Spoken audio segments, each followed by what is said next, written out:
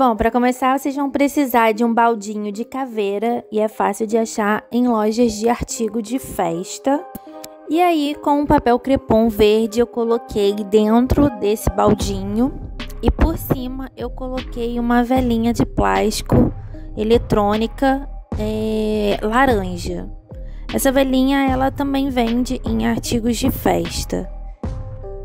Peguei um inseto que eu também comprei em lojas de artigos de festa de plástico laranja para combinar com a vela, para dar um destaque, já que o baldinho é branco, e colei na alcinha do balde. Também colei uma baratinha para fazer todo esse enfeite para a gente colocar na mesa. Se você se interessa por assunto de festa e quer trabalhar com isso, eu vou deixar aqui abaixo um link para um curso que vocês podem se tornar decoradoras de festa em 30 dias.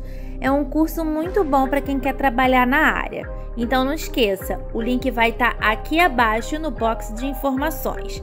E também não deixe de curtir, compartilhar e comentar esse vídeo. Um grande beijo e até o próximo. Tchau!